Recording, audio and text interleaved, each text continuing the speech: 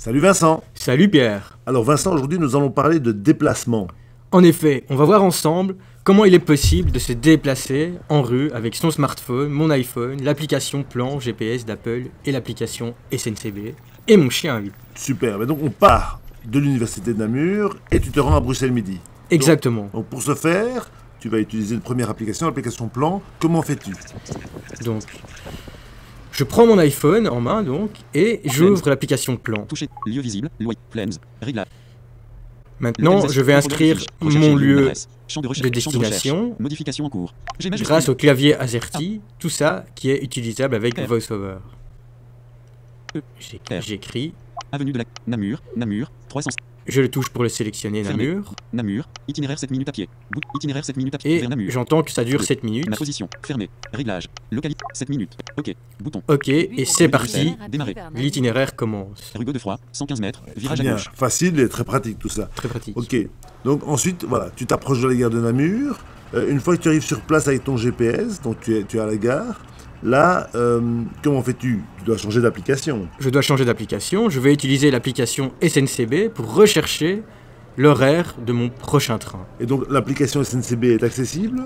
Accessible avec VoiceOver, même s'il y a des petites choses à améliorer. Alors comment tu fais? Dis-moi. Alors, j'ouvre l'application de la SNCB et je commence par inscrire mon lieu 61, Namur. de Champ de départ, recherche, champ de recherche. N, sélection effacée. Toujours à l'aide du clavier AZERTY et de VoiceOver. Namur distance, nul. Magnifique. Departure transport S 61 C'est secondes de 8 bus. Menu, bouton, Tripto Bruxelles Luxembourg.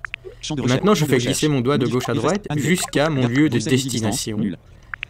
J'efface ce qu'il est inscrit pour l'instant et je choisis Bruxelles midi.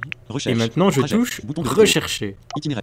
Ajouter comme aujourd'hui. Namur. Une liste d'itinéraires apparaît à 9. l'écran. Itinéraire.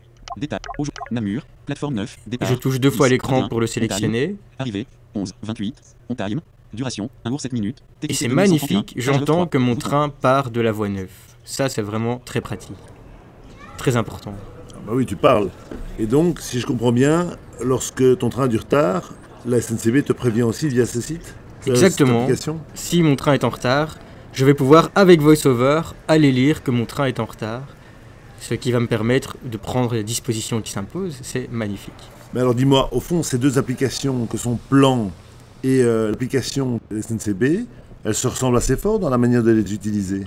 Effectivement, dans les deux applications, je dois inscrire un lieu de départ et un lieu d'arrivée. Et donc, la manière de les utiliser est très semblable. Super.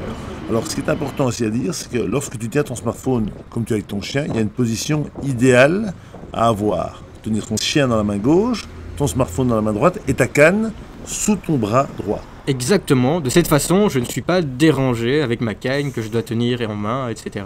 C'est une position très ergonomique, la plus pratique selon moi. Parfait, merci Vincent. Avec plaisir.